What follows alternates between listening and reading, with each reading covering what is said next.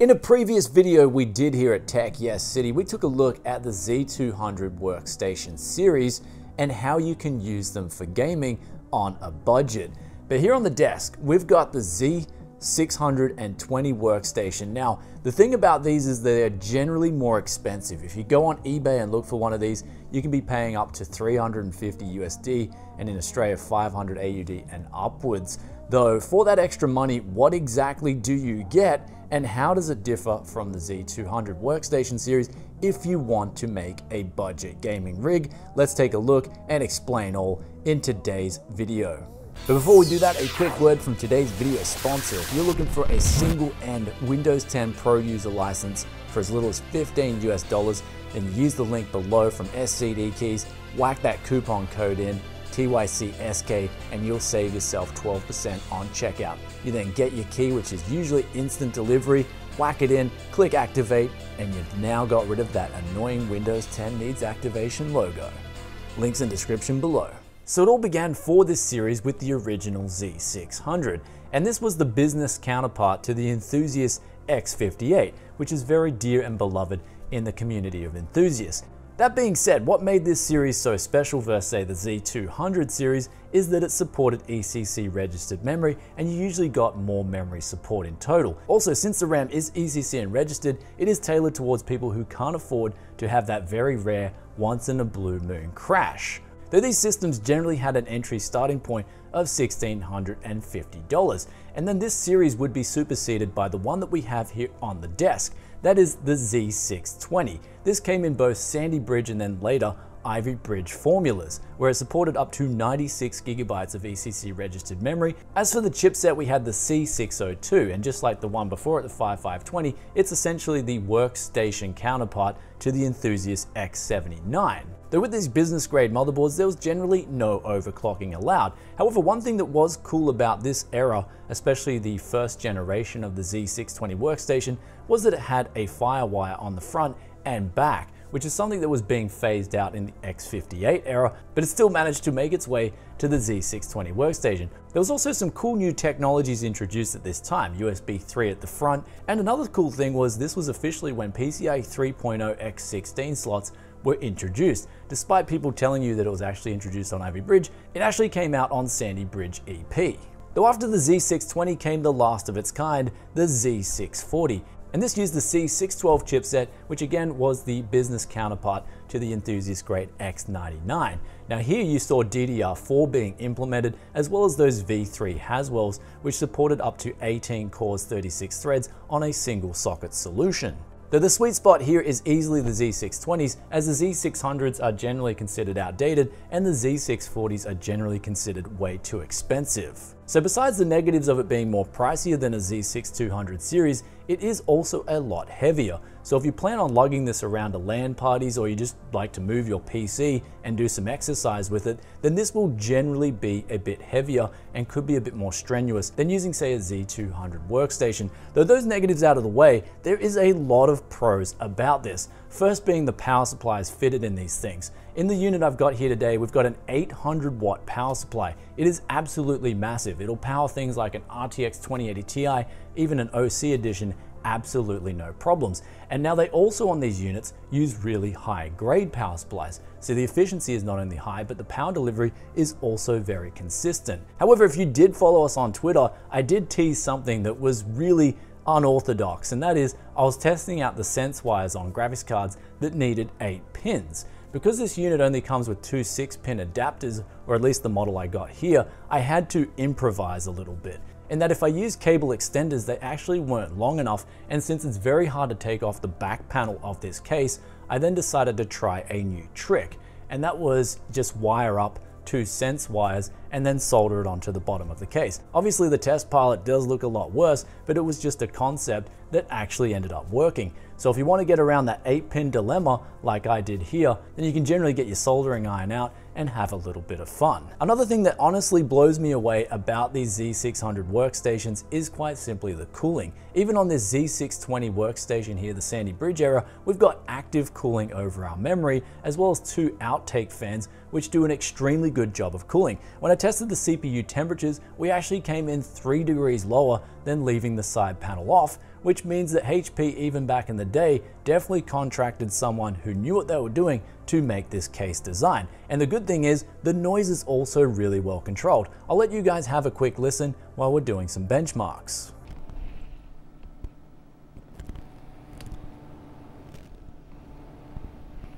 Though those GPU numbers, another good thing there was that we averaged out at 73 degrees, both with the side panel on and off. And this is with an open air MSI overclocked edition 980. So the power supply is good, the cooling's good, and also the room inside allows you to put in those extra extended graphics cards. Now, unfortunately with the unit I had here, you may have noticed one more thing, and that was I was uh, using a little bracket to support the SSD, and that's because the person I bought it off didn't include any of the extra hard drive bays. So again, I had to improvise a little bit. But what we've ended up here with is a system, if the drives are already installed, all you generally have to do is add your graphics card in and you've got one of the easiest pre-built PCs you could make in your life. Though the last thing to talk about is the actual specs in this system here, and what we've got is a Xeon 1620, or basically an i7 3820 equivalent in that also we can't overclock on this workstation system, which is another little negative. However, it's not that bad of a deal since we do have also quad channel memory on our memory itself. So this means we're gonna get a lot more bandwidth in that we don't have to really worry about overclocking our memory per se. But of course the CPU speeds, I would like to see if I could get a little bit more out of that. But for me personally, and the 350 Aussie dollars that I paid for this system, that's really not a big negative because we're gonna now couple it with a GTX 980 and then run some benchmarks for you guys and then see how that fared against the 9900K, but also the previous Z200 workstation series that we tested and that was with a GTX 1070. Let the benchmarks begin.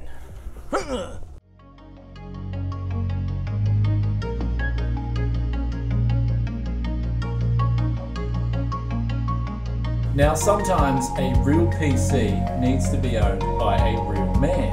What do you got to say about that, Dabney? Well, that's why this is my PC. And with the benchmarks out of the way, we have a system here that is running really smoothly, at least with the games and the limitations set by the GTX 980.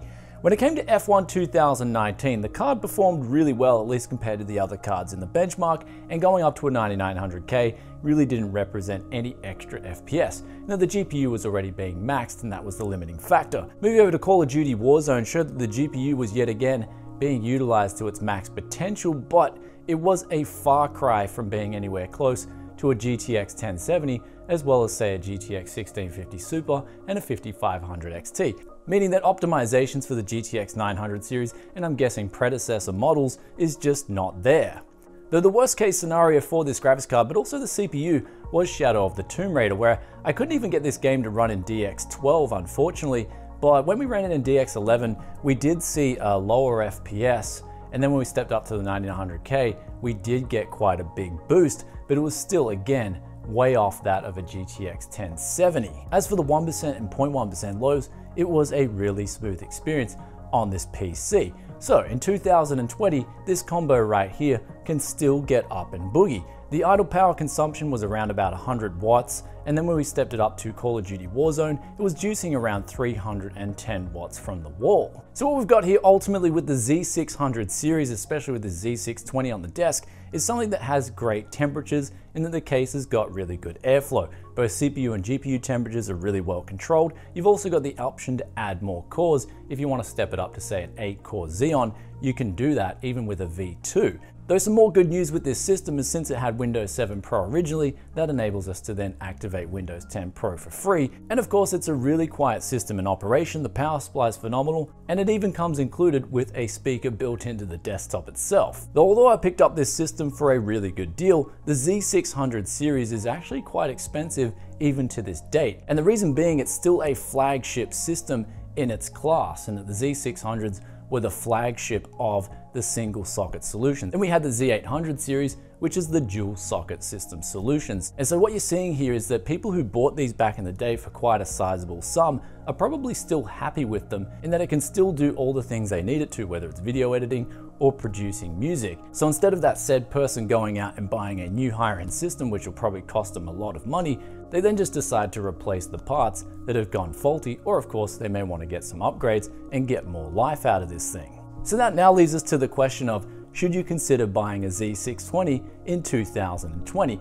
And my answer is if you can get it for a deal, especially locally, then definitely yes. It's a clean system, runs quiet, great temperatures, and of course it can support higher end graphics cards, which the Z200 couldn't. That was more capped out at mid-range graphics cards. And another really good thing, at least for the Z620 workstation, even versus the Z640, is that it supports the DDR3 registered ECC memory, which is generally really cheap on the used market. So you can get 32 gigabytes, have it in quad channel, and you'll be getting really smooth frame rates with even something like an RTX 2060 Super. Though with all that out of the way, do let us know in the comments section below what you think of the Z620. If you came by one, would you pick it up? If so, why? If not, why not? Love reading your thoughts and opinions as always, just like this question of the day here, which comes from Devon Rack. Let's try that again. It comes from Devon Rajakaruna, and they ask, Hey, I live in Australia, and where did you get a power supply for 10 Aussie dollars? I can only find them for around 60 at least.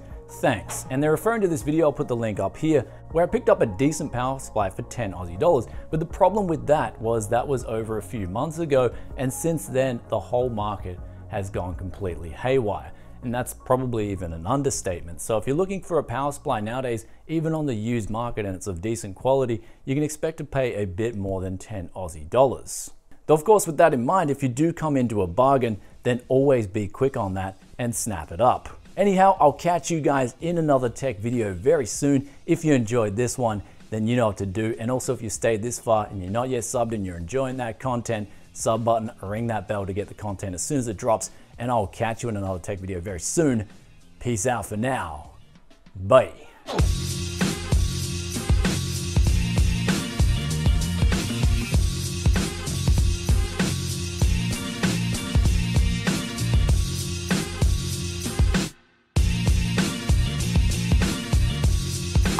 And Dad Man, finally, this video is finito el dito. Do you know what that means in English? That means it's finished. Finally, I found someone who understands my Spanish. Thank you.